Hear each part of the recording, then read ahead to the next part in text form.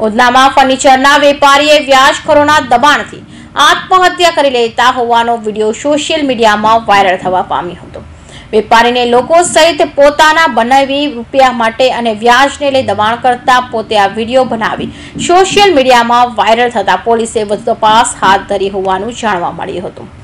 ઉધના વિસ્તારના ફર્નિચરના વેપારીએ આપઘાત કરી લેતા ચકચાર મચી જવા પામી છે. રાજસ્થાની વેપારીએ લોકો પાસેથી લીધેલા પાંચ ટકાના વ્યાજના રૂપિયા અને વ્યાજખોરોના ત્રાસના લીધે આત્મહત્યા કરી લીધી હતી હોવાનો વીડિયો સોશિયલ મીડિયામાં વાયરલ થવા પામ્યો હતો.